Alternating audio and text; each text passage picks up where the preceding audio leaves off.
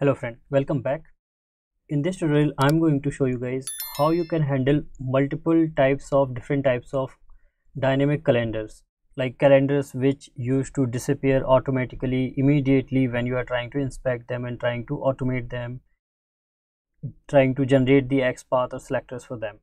Many of you have asked this question that prepare a video like where i can show you guys how you can handle them how you can inspect these kind of dynamic calendars. Like let me show you different types of calendars.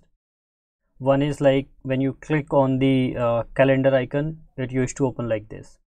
Another one is it could be something like this. On different websites like the uh, travel website you will always find the calendars when you have to test them like these. So different kinds of calendars are there on different websites. So how can you inspect them? How you can uh, generate the uh, like selectors xpath for them. So this i will show you guys in this tutorial. So please watch this. This will be really helpful for you all to handle such kind of calendars and to understand the feature like what kinds of these calendars are and how you can automate them. Is it really complicated or it is really simple? Also like these kinds of calendars you might have seen on some of the like account creation websites where you have to create account so you find these kind of drop downs as well okay so let us start with uh, one uh, a few of these booking websites like travel booking website. So here you see that when you click on these calendars you can uh, see that here you would be able to right click and here you can inspect them. In fact like you can directly copy the XPath from here itself if you want. Otherwise like you just let's say inspect and you see that we were able to inspect that element. Or let me just move on to this. So you see that this is getting disappeared. So this is a little challenge part here that we are not able to inspect this calendar because it is getting disappeared. So when the calendar get disappeared how you can handle that?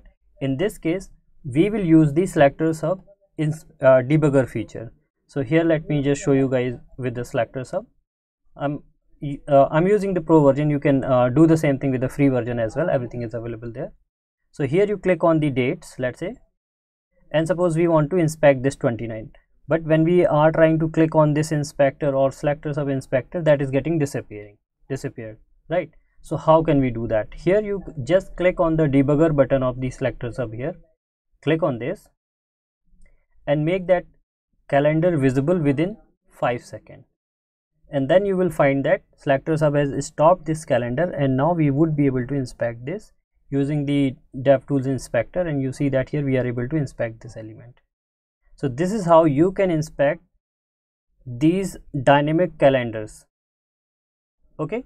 And here i'm using SelectorsHub in devtools whenever you have to use the debugger always prefer to use SelectorsHub in the devtools panel. Otherwise you can also use it here as well just by clicking on the logo it used to open so this is how you can inspect the uh, these kind of dynamic calendars which used to get disappear immediately. One more example I, I will show you. Like on this orange health if you try to click on this calendar and let's say we have to inspect this date you will find that this got immediately disappear. So how can we inspect that? Here we can use the SelectorsHub debugger. Very simple. Like you just click on the debugger icon here in SelectorsHub and then click on this calendar icon. You see that it will stop that uh, calendar here and now you would be able to inspect this any of these dates. And you can see that xpath is also generated for this particular date so you can copy this and use it in your script. Xpath or any any selectors you can get whichever is required for your framework so this is how you can inspect any of these uh, dates from such kind of dynamic calendars which immediately get disappear when you are trying to inspect them. Okay i hope this is clear. So i have showed you guys this SelectorsHub here in the devtools let me just show you guys how you can do it from the like if you are using SelectorsHub by clicking on the logo just clicking on the logo here because most of the people now using it because this is more simple. So uh, when you are clicking on this here it opens.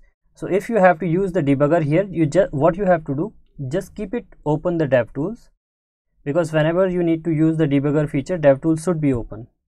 And now we will uh, click on the debugger and open the calendar. You will see that notice that within after 5 seconds it will stop this. And now you can inspect any of these. So this is how you can use it.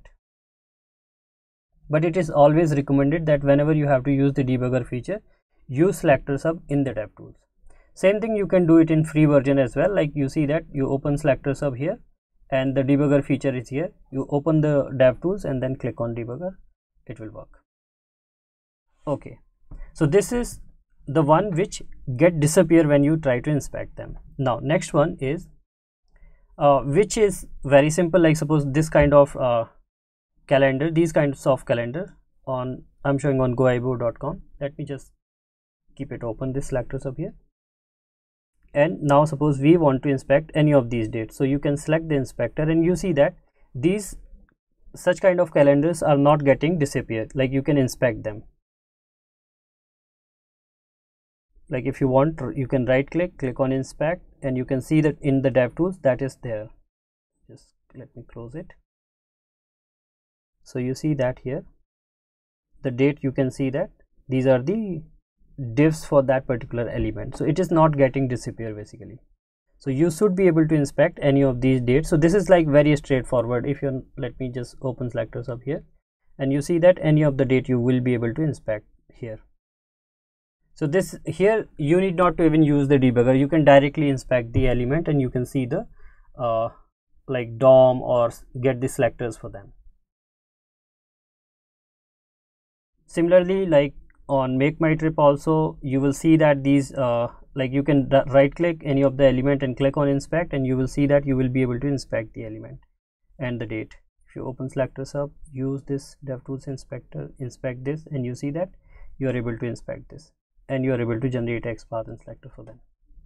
So this goes easy. When calendar is not disappearing that is simple. Okay. So we have seen two types now one which was disappearing. So we can use the debugger. One which is not disappearing and is always there when you uh, and you are able to inspect them. So the, in that case you can either uh, copy it from uh, SelectorsHub tab or you can also right click and copy the value from here. Simple. Okay. Next one is which is little tricky which cannot be even uh, inspected by the debugger or by the dev tools. This kind of calendar I'm showing on X uh, SelectorsHub website practice page here. The one if you see that here if we click the calendar get opened and now if you try to right click on this any of these elements you would not be able to right click. I'm not able to right click on this okay and if we open DevTools and try to inspect this so you see that we would not be able to inspect this calendar. And now let us turn on the debugger and try with that. Click on the debugger. And then make the uh, this appear this calendar within 5 seconds. You see that that got disappear so even with the debugger also you, we cannot inspect such kind of calendar. Why? What is the region what is what's the type of this calendar these are the calendars which has been introduced on the page on the web page using the type attribute is equal to date. Here you can see in the DOM if you notice this is input tag and there they have used type is equal to date. Just using the type is equal to date this becomes the calendar. It's an inbuilt feature of HTML. Here they have not introduced this calendar separately through JavaScript or something. This is inbuilt feature like if if we make this type is equal to search then this will not be calendar. Like here you see that this becomes the input box like sort normal input box. If we make it as a password then if you will type anything in this box that will become like a asterisk kind of thing like dot dot dot. So here this just become the calendar just by adding type is equal to date. And that's the reason like we will not be able to inspect this because this is not part of the DOM it doesn't have any HTML for these dates. So how you can automate such kind of elements? This is the tricky part. So what we will have to do uh, like it's a very simple. I will show you guys how you can very easily automate or pass the value inside this enter the value inside this kind of input box. Just inspect that element here. And you see that this is the xpath for that particular input box. Now here we need the code so let me just because I cannot use this xpath directly I need to write that driver dot find element. So I don't want to type this. Let me just turn on the code here. I got the command copy this paste it here. And now here normally the way you used to enter the value inside any input box the same way we can do. Just use the send keys method here. And what date you want to pass here? Let me just select. Let's say we want to pass today is 29 so we want to pass this. Now I will take the same value 29 slash 11 2023 okay? Then save it. Now let me execute this script. In place of 10 second I will just make it one second just to show you guys. And let's run this code. And we will see that if it is able to enter the value inside that box. So here you need not to in fact inspect that date particularly and write the XPath for that date. You can directly just uh, write the XPath for that input box and use the send keys method to enter the date value inside such kind of calendars which we cannot inspect and uh, like which are basically introduced using the type is equal to date attribute. Because those cannot be inspected or cannot be like for those dates we cannot write the XPath so here you see that the value has been entered so this is how you can handle the such kind of calendars which we are not able to inspect which we can't inspect and introduce using the type is equal to date attribute okay? So it's very simple. Just you have to use the normal uh, way write the xpath find that element input element and then use the send keys method enter the date. Okay cool. So we have got this one as well. So now here you can handle this you can handle this dynamic one which get disappear using the debugger you can handle which the one which you are able to directly inspect so there is nothing special. Same way uh, like if this is the one let me show you. If you are able to right click on the dates and you are able to inspect that then you can directly use SelectorsHub here get the xpath and copy and use it. Simple if it will be inside iframe it will tell you everything. So if you are able to inspect right click inspect then there is no problem right? There is nothing special. But if it is something like which you are not able to inspect or something like that then in that case there is a problem. Like if we can inspect this then in that case it will be easy for you. The next one is this kind of drop downs where you have such drop downs. So here let us inspect this again you see that we are not able to right click on this. Like let's say if I have to inspect this March right click. We are not able to do that. So let's see what is this what is special there. So inspect this element. And here you see that this box has been created using the select tag. Okay so this is basically select tag which can be automated using the select class of selenium. I hope you all are aware about that so uh, here you see that select and under this select you will see the options. So you create a object of select class then use the method like select any of the value from these options. And here you can use the SelectorsHub to get the xpath of this particular element. Same goes for date like this is also a select drop down. So this is on twitter website this is on uh, like let's say facebook if you are trying to create an account. So here also you will see that this is a select tag so you can when you uh, like you would not be able to right click here on this. You can right click on this and then you can open the dev tools. And here you can see the select tag and uh, if you open SelectorsHub you will get that. If you directly open it here you can inspect and get the xpath or the command. And then you can automate this.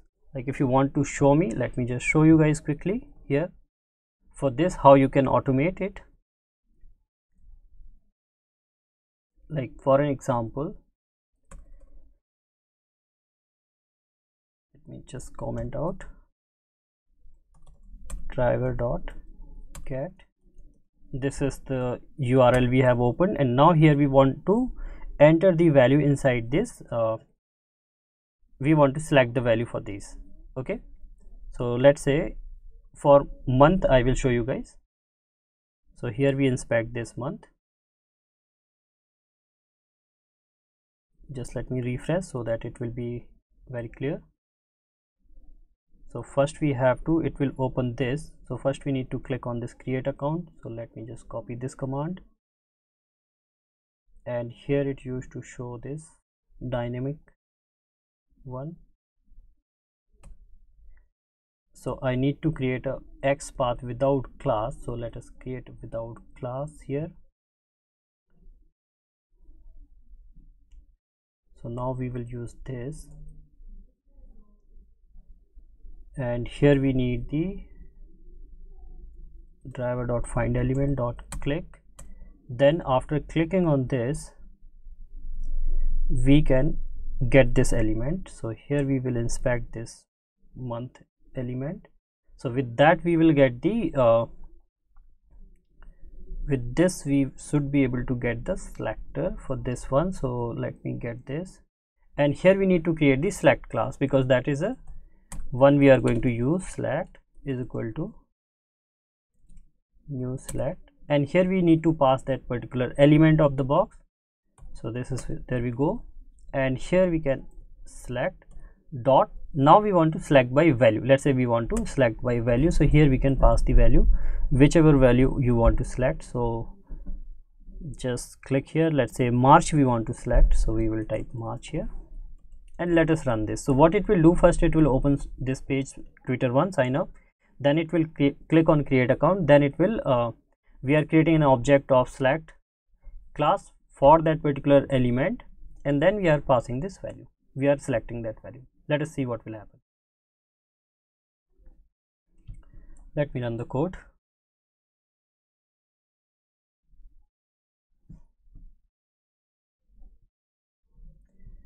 so here it has opened this.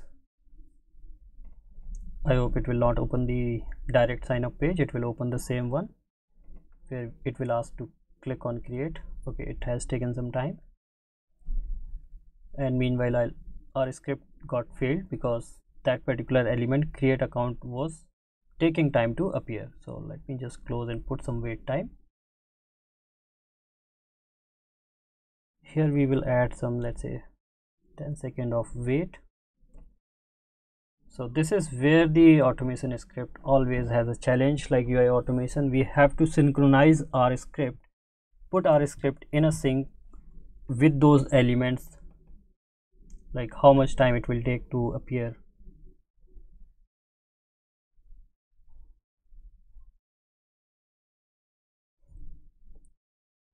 So now this time it should work. So we have enough time.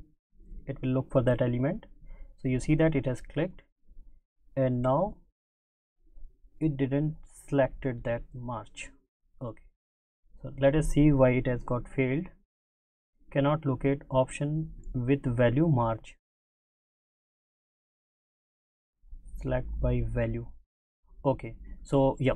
One more thing we need to see here when we say select by value so here okay so here they have the value as 1 2 3 so if we want to select option march then we have to pass the value 3 so this also we need to take care. So good that we got this issue. So if we want to select march by value then we will ha have to pass 3 if we want to select using the march text then in that case we will have to pass the text i guess that i that also i will show you guys. So here again it is executing the script.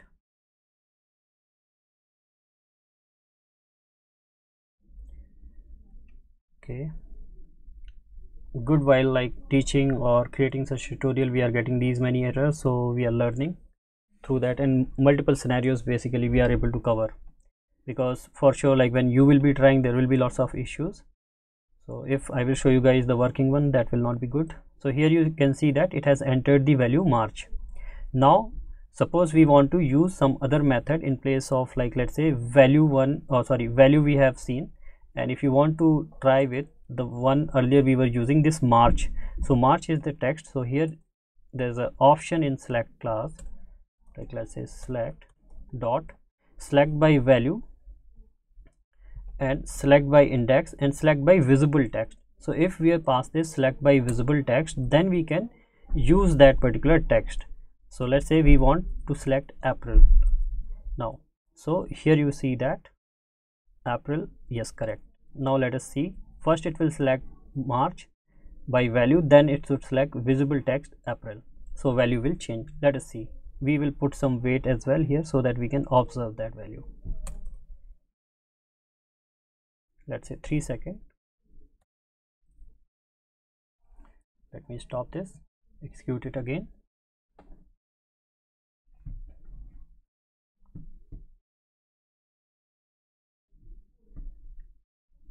Now here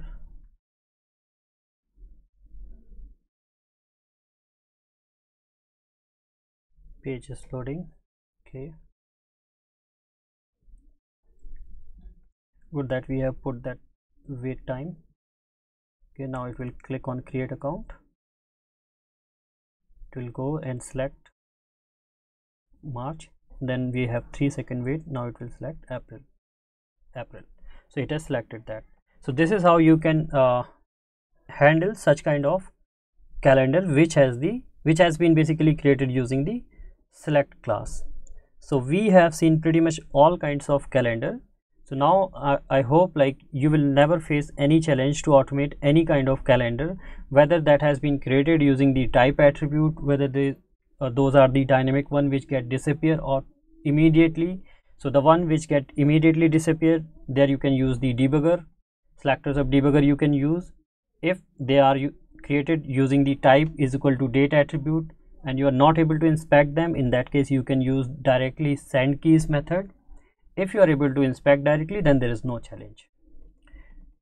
I hope you found this tutorial useful. Please do practice about them all of them. You can see whichever url i have used here on this web page. Like this was open source the orange one orange website. Then selectorshub.com redbus i have shown goibo.com and uh, the twitter one and uh, lots of other website i have showed you guys. So you can see in the url whichever i have used and do practice and i'm, I'm sure like you will like them and you will uh, save some time and you would be able to automate all kinds of calendar going forward. If you have any comment any scenario which you are not able to uh, automate then do let us know in the comment section. Also you can always reach out to us on the SelectorsHub website live chat. We will be more than happy to help you. Thank you. Thank you so much. Please like this video and subscribe to the channel. Also check out these awesome informative videos and keep watching more videos on SelectorsHub channel. Thank you.